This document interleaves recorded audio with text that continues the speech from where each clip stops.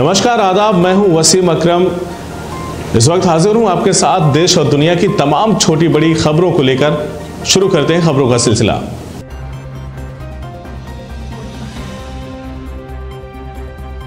हरदोई में एक पिता हैवान बन गया। उसने सालों से शादी की चाहत में अपनी चार साल की बेटी की निर्मम हत्या कर दी और शव को घर के पीछे घूरे में दफन कर दिया। और जब बदबू फैली तो उसे नदी में फेंक दिया। पूरे मामले का खुलासा उसके भाई की पत्नी ने कर दिया। तो पुलिस ने पिता को गिरफ़्तार कर जेल भेज दिया। ये सनसनीखेज मामला हरदोई के पिहानी कोतवाली इलाके के बंदराहा का है। यहाँ के रहने वाले सूर्य प्रकाश उर्फ़ सोनू, पुत्र प्रेमचंद गुप्ता ने 6 सितंबर को अपनी पुत्री करिश्मा, जिसकी उम्र चार वर्ष थी उसके गायब होने की गुमशुदगी की रिपोर्ट दर्ज कराई थी और 13 सितंबर को धारा तीन के तहत तरमीम किया गया। इस मामले की जाँच चल ही रही थी कि पुलिस को गायब बालिका के पिता की तरफ़ शक की सुई घूम गई। इसी बीच सूर्यप्रकाश के भाई की पत्नी ने उसकी सास को बताया कि बालिका को उसके ही पिता ने गायब किया है। पुलिस को जैसे ही मामले की जानकारी हुई तो उसने बच्ची के पिता को पूछताछ के लिए बुलाया, जिसके बाद पुलिसिया पूछताछ में वो टूट गया और सारी कहानी बयां कर दी। मामले का खुलासा करते हुए एएसपी त्रिगुण विशेन ने बताया कि सूर्यप्रकाश की पत्नी का करीब सवा साल पहले एक्सीडेंट हो गया था, जिसमें उसकी मौत हो गई थी। उसके बीमा क्लेम का पैसा उसे मिलने वाला है और वह अब दूसरी शादी अपनी साली से करना चाहता है।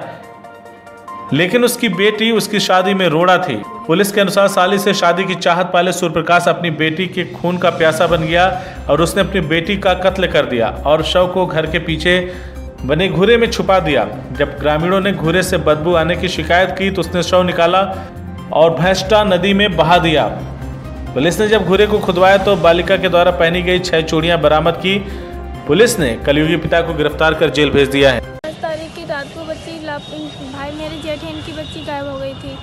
तो सबको ढूंढते रहे, हर जगह ढूंढते तो मम्मी ने कुछ कहा होगा बाहर, सब जब सर हो रहे गए थे तो किसी को तो सब सब कह रहे थे कि कह रहे थे बच्ची बच्ची के दाद मम्मी कह रही थी कि भैया ने बिटिया को मारा, कहीं लापता कर दिया। इतना सर मुझे जितनी जानकारी थी, उतनी सर मुझे बता दी थी सर को। फिर आपने क्या किया? मैंने कहा सर सर ने बुलाया था दोनों लोग आ गए थे। जब मैं घर में अकेली गई तो सर लोग घर गए थे। तो पूरी जानकारी जाँच की थी सर ने। ये कौन है आपके जो मेरे जेठ हैं। और वो बच्ची कौन थी आपकी? वो मेरी भतीजी थी। देखिए थाना पिहानी में सूर्य सूर्य प्रकाश गुप्ता के द्वारा सूचना दी गई थी अपनी पुत्री के गुमशुदगी की। जिसमें कि बाद में यह तेरह नौ को जो है मुकदमा तीन सौ तिरसठ में तरमीम हुआ था। जब इस मुकदमे की विवेचना करी गई तो उन्हीं के घर से पता चला कि उनके छोटे भाई की वाइफ ने बताया कि उस बच्ची को इन्होंने खुद स्वयं ही मार दिया है तथा घर के पीछे गाड़ा था तथा जब वहाँ से बदबू आने लगी तो उसको शव को कहीं और हटा दिया। इसी आधार पर इनकी गिरफ्तारी की। वजह क्या थी? वजह क्या थी इस पूरे वजह इसकी जो वजह अभी तक की प्रकाश में आई है वो यह थी कि इनकी पत्नी का देहांत एक्सीडेंट में एक साल पहले हो गया था तथा तो ये चूँकि ये बच्ची की वजह से इनकी दूसरी शादी नहीं हो पा रही थी। अगर आपको हमारी खबर अच्छी लगी तो खबर को लाइक करें शेयर करें और चैनल को सब्सक्राइब ज़रूर करें। साथ ही स्क्रीन पर दिख रही घंटी को दबाएँ ताकि आप तक हमारी सभी खबरों के नोटिफिकेशन पहुँचते रहें।